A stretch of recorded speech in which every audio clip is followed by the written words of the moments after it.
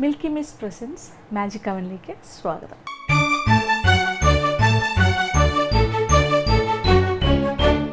നമ്മുടെ വീടുകളിൽ സാധാരണയായിട്ട് പലതരം കറികൾ നമ്മൾ ഭക്ഷണത്തിന്റെ കൂടെ ഉണ്ടാക്കാറുണ്ട്. പ്രത്യേകിച്ച് പറഞ്ഞാൽ വീട്ടിൽ ലഞ്ച് ഉണ്ടാക്കുക അല്ലെങ്കിൽ ഡിന്നർ ഉണ്ടാക്കുന്ന സമയത്ത് വളരെ നാടനായിട്ട് സാധാരണയായിട്ട് നമുക്ക് എപ്പോഴും ചെയ്യാൻ പറ്റുന്ന നമുക്ക് ചുറ്റുമുള്ള കാര്യങ്ങൾ വെച്ച് തന്നെയല്ലേ ഉണ്ടാക്കാറ്. വളരെ എക്സോട്ടിക് ആയിട്ടൊക്കെ വളരെ അപൂർവമല്ലേ നമ്മൾ ഉണ്ടാക്കാറ്. അതായത് വിശേഷ അവസരങ്ങൾ അല്ലെങ്കിൽ വീട്ടിലേക്ക് ഗസ്റ്റുകൾ വരുമ്പോൾ അല്ലെങ്കിൽ നമ്മൾ തന്നെ ഒരു ഞായറാഴ്ച അല്ലെങ്കിൽ ഒരു അവധി ദിവസമൊക്കെ സെലിബ്രേറ്റ് ചെയ്യുമ്പോൾ കുറച്ച് എന്താ പറയുക ബിരിയാണിയോ അല്ലെങ്കിൽ അതുപോലെയുള്ള ഡിഫറെന്റ് ആയിട്ട് പലതരം റൈസ് ഐറ്റംസ് അല്ലെങ്കിൽ ഒരു ബേക്ക്ഡ് കാര്യങ്ങൾ അങ്ങനെയൊക്കെ വെറൈറ്റി ഉണ്ടാക്കാൻ നോക്കും. സാധാരണ എന്താ വീട്ടിൽ ചോറും രണ്ടോ മൂന്നോ കറി. അത് ഓരോരുത്തരുടെയും ഇഷ്ടത്തിനനുസരിച്ച് ചിലപ്പോൾ നോൺ വെജും ഉണ്ടാവാം വെജ് ഉണ്ടാകാം അങ്ങനെയല്ല. അപ്പോൾ എപ്പോഴും എല്ലാവർക്കും ഇഷ്ടം സാധാരണ കറികൾ നമ്പർ ഓഫ് പല പല വെറൈറ്റീസ് കാണാനും പഠിക്കാനും ഒക്കെ തന്നെയാണ്.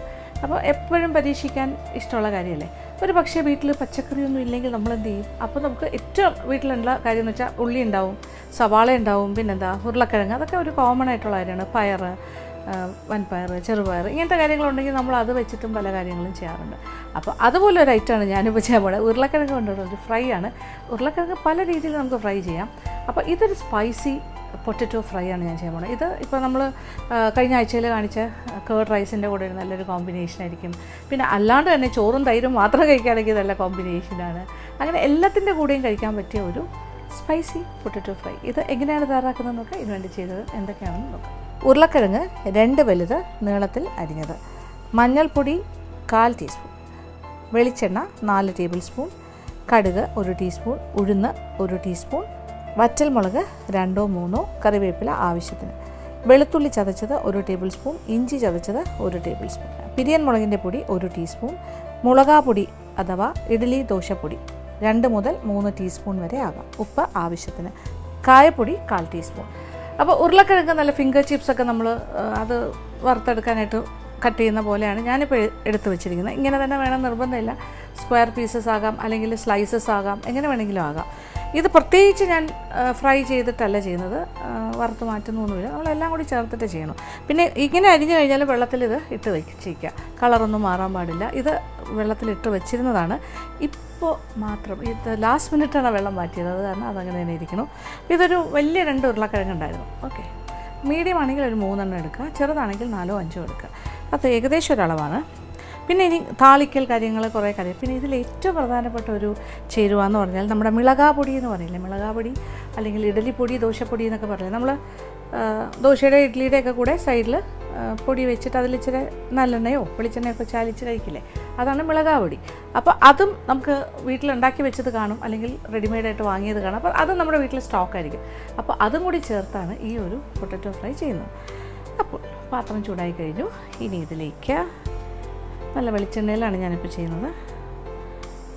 ഒരു രണ്ട് ടേബിൾ സ്പൂൺ രണ്ടോ മൂന്നോ നാലോ ടേബിൾ സ്പൂൺ വേണ്ടി വരും. ചിലപ്പോൾ ഇച്ചിരി കൂടെ കൂടുതലും വേണ്ടി വരും.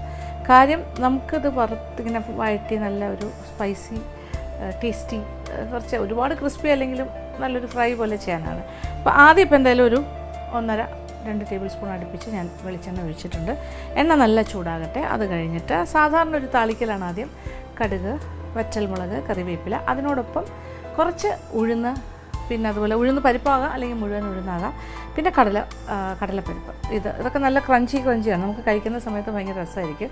അങ്ങനെയുള്ള കുറച്ച് കാര്യങ്ങൾ ഇടയ്ക്ക് കിടക്കുന്നത്. പിന്നെ ബാക്കി നോർമലാണ് പിന്നെ ഇഞ്ചി വെളുത്തുള്ളി എല്ലാം ചതച്ച് വെച്ചിട്ടുണ്ട്. അതും നമ്മളിതിലേക്ക് ചേർക്കും. മുളകാപ്പൊടി ഇങ്ങനെ എന്നെ നോക്കിക്കൊണ്ടിരിക്കുന്നു. അതും കൂടി ചേർത്ത് ചെയ്തതുകൊണ്ട് ഒരു വ്യത്യാസമുള്ളൊരു രുചിയായിട്ട് മാറും. പിന്നെ കുറച്ച് കായപ്പൊടി എല്ലാ കാര്യങ്ങളും റെഡിയാണ് അപ്പോൾ എണ്ണ ചൂടായി തുടങ്ങി. ഇനി ആദ്യം തന്നെ ഏതാണ്ട് ഒരു ഒരു ടീസ്പൂൺ കടുകിട്ട് പൊട്ടിക്കും. അങ്ങനെ കടുക് പൊട്ടി തുടങ്ങിയിട്ടുണ്ട്. ഇനി ഇതിലേക്ക് ഉഴുന്ന്. ഇതിപ്പോൾ മുഴുവൻ ഉഴുന്നാണ്. ഒരു ടീസ്പൂൺ ഉഴുന്ന്. ഉഴുന്ന് പരിപ്പാണെങ്കിലും നല്ലതാണ് ഒരു ടീസ്പൂൺ കടലപ്പരിപ്പ്. ഇതെല്ലാം ഒന്ന് ചെറുതായി ഒന്ന് മൂത്ത് വരട്ടെ. എന്നിട്ട് വറ്റൽമുളകും കറിവേപ്പിലയും ചേർക്കും. വറ്റൽമുളക് മൂന്നോ നാലോ റെഡിയാക്കി വെക്കാം. അതുപോലെ കറിവേപ്പില.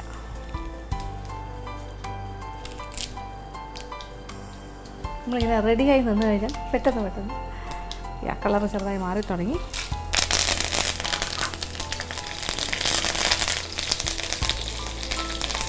തീ ഒരല്പം കുറച്ചിട്ടുണ്ട്. ഇനി ഇതിലേക്ക് ഇഞ്ചി ചതച്ചത് ഒരു ടേബിൾ സ്പൂൺ. വെളുത്തുള്ളി ചതച്ചത് ഒരു ടേബിൾ സ്പൂൺ. ചതയ്ക്കുക നന്നായിട്ട് ചതച്ചത്. ഓക്കെ. ആഹാ നല്ല ആ വെളുത്തുള്ളി ചീത്തപ്പോൾ തന്നെ വറുത്തു തുടങ്ങി. ഇനി ഇതിൽ കിടന്ന് മൂക്കുമ്പോൾ കുറച്ചുകൂടി ഒരു മണമായിരിക്കും. നല്ലൊരു ഫ്ലേവർ. വീണ്ടും തീ കൂട്ടി കൊടുക്കുന്നു. ഇനി ഇത് ചെറുതായി ഒന്ന് മൂക്കട്ടെ. ഇനി ഇതിലേക്ക്. അപ്പോൾ ചെറുതായിട്ട് ഇഞ്ചി വെളുത്തുള്ളിയൊക്കെ വാടി തുടങ്ങി. പക്ഷേ കുഴപ്പമില്ല ഇനി ഉരുളക്കിഴങ്ങിന്റെ കൂടെ കിടന്ന് പാകത്തിന് മൂത്തോളും. അപ്പോൾ ഇനി ഉരുളക്കിഴങ്ങിന്റെ പീസസ് കൂടി ഇപ്പോൾ ചേർക്കാം. അതായത് ഇഞ്ചി വെളുത്തുള്ളി ചതച്ചത് ഒന്ന് വാടി തുടങ്ങിയിട്ടേ ഉള്ളൂ മൂത്ത് തുടങ്ങിയിട്ടില്ല. ഈ സ്റ്റേജിലാണ് ഞാൻ ഉരുളക്കിഴങ്ങ് ചേർക്കുന്നത് പൊട്ടറ്റോയുടെ ഷേപ്പ് ഏത് വേണമെങ്കിലും നിങ്ങൾക്ക് തീരുമാനിക്കാം.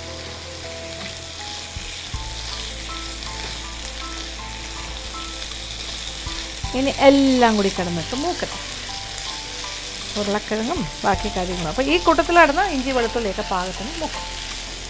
ഇനി ഇതിലേക്ക് കുറച്ച് മഞ്ഞൾപ്പൊടിയും കൂടി ചേർത്ത് കൊടുക്കാം. ഒരു കാൽ ടീസ്പൂൺ മഞ്ഞൾപ്പൊടി.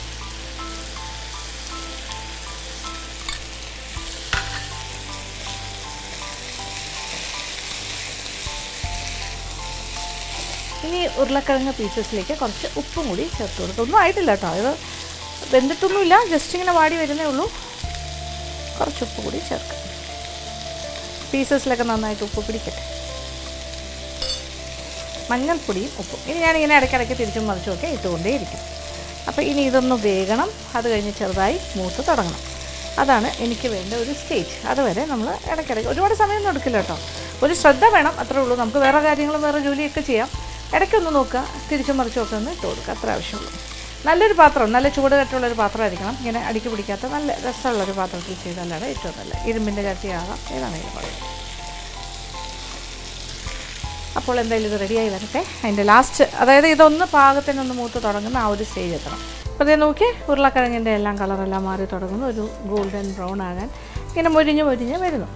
അത് പാകത്തിന് വെന്തിട്ടാണ് പിന്നെ മുരിയലിലേക്ക് പോകുന്നത്. ഇനിയാണ് ലാസ്റ്റ് ഫിനിഷിങ് വർക്കാണ് അതായത് മുളകിന്റെ തരി. അതായത് എന്താ പറയുക ക്രഷ്ഡ് ചില്ലീസ് അത് നമ്മുടെ എരിവിന് അനുസരിച്ചിട്ടാണ് ചേർക്കേണ്ടത്. എത്രയാണ് നല്ല സ്പൈസി ആയിട്ടാണ് നമ്മളിപ്പോൾ ഇത് ചെയ്യുന്നത്. ഒരു അര മുക്കാൽ ടേബിൾ സ്പൂൺ വരെ ചില്ലി ഫ്ലേക്സ് ഇട്ടു.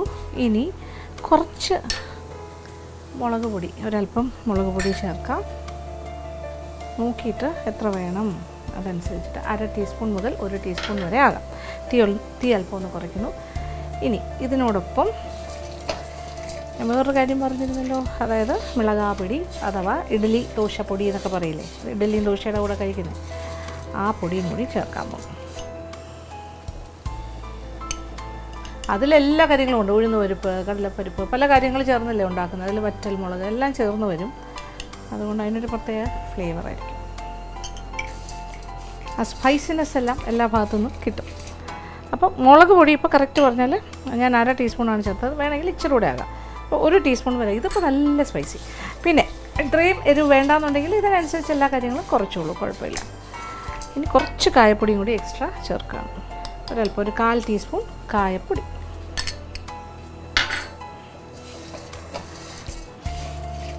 ഉപ്പ് നമ്മൾ നേരത്തെ തന്നെ ചേർത്തു. അത് വേണമെന്നുണ്ടെങ്കിൽ നോക്കിയിട്ട് പിന്നെയും ചേർക്കും. പിന്നെ ഒരല്പം വെളിച്ചെണ്ണ എക്സ്ട്രാ ലാസ്റ്റ് ചേർക്കും.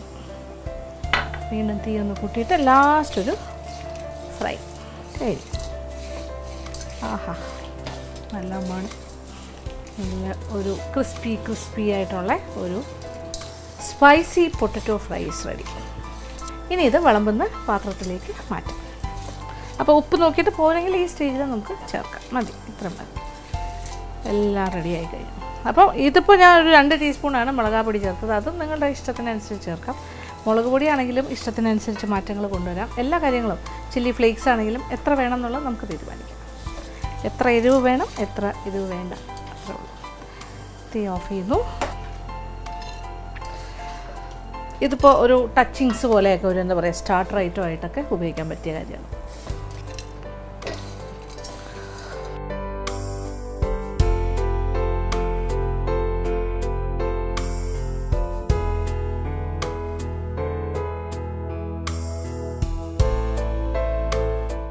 അടുത്തതായി മാജിക് അവന്റെ second recipe of the week ഈ ആഴ്ചത്തെ സെക്കൻഡ് റെസിപ്പി ഒരു സമ്മറിന് പറ്റിയ കാര്യം തന്നെയാണ് ഈ വേനൽക്കാലത്തേക്ക്. ഒരു സ്മൂത്തിയാണ് സ്മൂത്തി ഈസി ആയിട്ട് ഉണ്ടാക്കാം. പക്ഷേ ഹെൽത്തി സ്മൂത്തി ഇത് എങ്ങനെയാണ് തയ്യാറാക്കുന്നത് നോക്കാം ഇതിന് വേണ്ടി ചെയ്തത് എന്തൊക്കെയാണെന്ന് നോക്കാം. മസ്ക് മെലൻ അല്ലെങ്കിൽ ഷമാം തോടെല്ലാം കളഞ്ഞിട്ട് കഷ്ണങ്ങളാക്കിയത് രണ്ട് കപ്പ് മിൽക്കി മിസ്റ്റിന്റെ കേർഡ് ഒന്നര കപ്പ് ഹണി ഒന്നര ടേബിൾ സ്പൂൺ ചിയാ സീഡ് രണ്ട് ടേബിൾ സ്പൂൺ നിറച്ചെടുത്തിട്ട് ഒരു അര കപ്പ് വെള്ളത്തിൽ കുതിർത്തത്. അപ്പോൾ ഇത് ഷമാം എന്ന് പറയുന്ന ഒരു ഫ്രൂട്ട് വെച്ചിട്ടാണ് ഞാൻ ചെയ്യാൻ പോണത് അതുപോലെ നമ്മുടെ മിൽക്കി മിസ്റ്റിന്റെ നല്ല എന്താ പറയുക കേർഡ് നമ്മൾ യൂസ് ചെയ്യും. നല്ല സെറ്റ് കേർഡ് അതും പിന്നെ ഏറ്റവും പ്രധാന കാര്യം എന്ന് പറഞ്ഞാൽ ചിയാ സീഡാണ് ഉപയോഗിക്കുന്നത്. അപ്പോൾ ചിയാ സീഡ് ഞാനൊരു രണ്ട് ടേബിൾ സ്പൂൺ എടുത്ത് കുറച്ച് വെള്ളം ഒഴിച്ച് ഇങ്ങനെ കുതിരാൻ വെച്ചു. അത് നല്ല കുതിർന്ന് റെഡി ആയിരിക്കുവാണ്. പിന്നെ ഹെൽത്തി ആണെന്ന് ഞാൻ പറഞ്ഞല്ലോ ഈ ഒരു സ്മൂത്തി അതുകൊണ്ട് തന്നെ നമ്മൾ ഷുഗറിന് പകരം പഞ്ചസാരയൊന്നും അല്ല ചേർക്കുന്നത്. നല്ല ശുദ്ധമായ തേനാണ്. ആദ്യം നമുക്ക് മിൽക്കി മിസ്റ്റിന്റെ ഫാം ഫ്രഷ് കേർഡ് തൈരെന്നൊക്കെ പറഞ്ഞാൽ പ്രോബയോട്ടിക് ആണ്. നമുക്ക് ശരിക്കും നമ്മുടെ ഗട്ട് ഹെൽത്തിനെയൊക്കെ നന്നായിട്ട് ഇമ്പ്രൂവ് ചെയ്യും. ഏകദേശം ഒരു ഒന്നര കപ്പിൽ കൂടുതൽ ഞാൻ ചേർത്ത് കഴിഞ്ഞു. ഇനി ഇതിലേക്ക് ഷമാം എന്നുള്ള ഫ്രൂട്ട്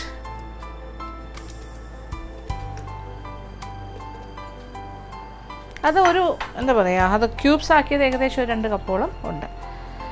ഇനി തേൻ. മധുരത്തിന് ആവശ്യമായത് ഒന്നോ രണ്ടോ ടേബിൾ സ്പൂൺ ആകാം. അപ്പോൾ ഇതെല്ലാം കൂടി ചേർത്തു. എന്നിട്ട് നന്നായിട്ടൊന്ന് ബ്ലെൻഡ് ചെയ്യാം.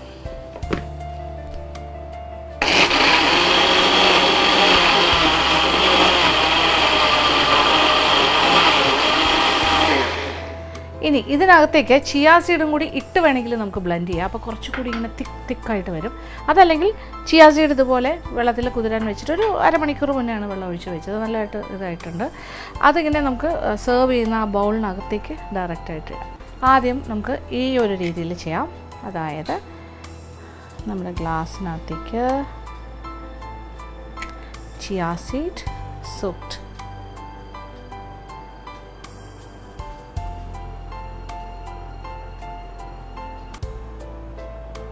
നല്ല ബ്യൂട്ടിഫുള്ളായിട്ട് കാണാനും നല്ല ലുക്കായിരിക്കും ഓക്കെ ഇനി ചെറുതായിട്ടൊന്ന് സ്റ്റാർ ചെയ്ത് കൊടുക്കാം.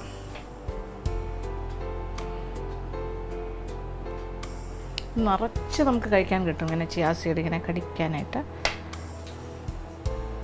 അപ്പോൾ നമ്മുടെ സ്മൂത്തി കുറച്ചുകൂടി തിക്കായിട്ട് മാറും. ഇത് ഒരു ഓപ്ഷൻ ഇനി വേറൊരു ഓപ്ഷൻ കാണിച്ചു തരാം. ഇതേ കാര്യത്തിലേക്ക് തന്നെ നമ്മൾ വീണ്ടും ഒന്നുകൂടി ബീറ്റ് ചെയ്യാം. അതിന് മുന്നേ ഇതിനകത്തേക്ക് ചിയാ സീഡ് ഈ സോപ്റ്റ് ഇപ്പം നമ്മൾ ഉപയോഗിച്ച അത്രയും തന്നെ ക്വാണ്ടിറ്റി ഒരു മൂന്ന് ടേബിൾ സ്പൂൺ ഇടുന്നു. എന്നിട്ട് ഒന്നുകൂടി ഒന്ന് ബീറ്റ് ചെയ്യും. അപ്പോൾ ഇത് കുറച്ച് ഇതിന്റെ കൂടെ ബ്ലെൻഡായിട്ട് ചേർന്ന് വരും. കുറച്ചുകൂടി തിക്കായിട്ട് ഇങ്ങനെ കാണുന്നുണ്ടല്ലോ അല്ലേ? ദിസ് ഇസ് വൺ വേർഷൻ ഇത് മറ്റൊരു വേർഷൻ ഇങ്ങനെ രണ്ട് രീതിയിലും ചെയ്യാം. ഏതാണ് നിങ്ങൾക്കിഷ്ടം അതുപോലെ ചെയ്യാം. പക്ഷേ ഭയങ്കര ഹെൽത്തി ആയിരിക്കും. ചിയാ സീഡിന്റെ ഹെൽത്ത് ബെനിഫിറ്റ്സ് ഒരുപാട് കാര്യങ്ങളുണ്ട്. അപ്പോൾ അത് നമ്മുടെ ദിനചര്യയുടെ ഭാഗമാക്കിയാൽ നല്ലതാണ്. ഞാനിപ്പോൾ ഒരു മൂന്ന് ടേബിൾ സ്പൂൺ വെച്ചിട്ടു ആറ് ടേബിൾ സ്പൂൺ സോക്ട് ഇത് ശരിക്കും ഒരു രണ്ട് ടേബിൾ സ്പൂൺ നിറച്ച് ചിയാ സീഡ് കുറച്ച് വെള്ളം ഒഴിച്ച് വെച്ചപ്പോഴാണ് ഇത്രയായിട്ട് ഇങ്ങനെ ഡബിൾ ആൻഡ് ട്രിപ്പിളായിട്ട് മാറിയത്. ഈ രീതിയിൽ തയ്യാറാക്കുക. ഹെൽത്തി ആയിട്ട് കുടിക്കുക. ഇതിപ്പോൾ ഞാൻ ഷമാമിൽ ചെയ്തു ഉള്ളൂ. ഇത് ഏതൊരു ഫ്രൂട്ടിൽ വേണമെങ്കിലും ചെയ്യാം. ഇപ്പോൾ സീസണലായിട്ട് മാമ്പഴം കിട്ടാം. മാമ്പഴത്തിൽ ചെയ്യാം. ഇപ്പോൾ ഷമാമിൽ ചെയ്തു. അങ്ങനെ എനി ഫ്രൂട്ട് നിങ്ങൾക്ക് യൂസ് ചെയ്യാം. പപ്പായയിൽ ചെയ്യാം. പപ്പായ നമ്മുടെ ഓമയ്ക്ക. പഴുത്ത ഓമയ്ക്കയിൽ ചെയ്യാം. അങ്ങനെ ഏത് നാടൻ ഫ്രൂട്ടിൽ വേണമെങ്കിലും ചെയ്യാം. എന്തായാലും പരീക്ഷിച്ച് നോക്കുക. എല്ലാവർക്കും ഇഷ്ടം.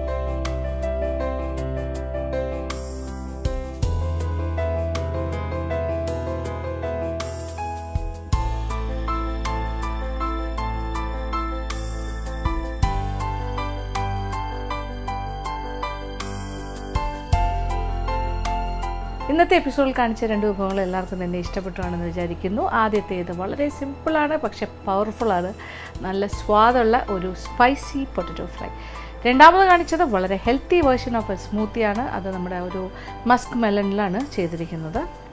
അതും ചിയാ സീഡൊക്കെ വെച്ചിട്ട് ഗംഭീര സാധനമാണ്. ഇപ്പോഴത്തെ സമ്മറിന് പറ്റിയാണ്. തീർച്ചയായിട്ടും രണ്ട് വിഭവങ്ങളും പരീക്ഷിക്കുക എല്ലാവർക്കും ഇഷ്ടം. ഇന്നത്തെ എപ്പിസോഡ് ഇവിടെ അവസാനിക്കുകയാണ്. വീണ്ടും പുതിയ വിഭവങ്ങളുമായി മാജിക് അവനിലൂടെ കാണാം.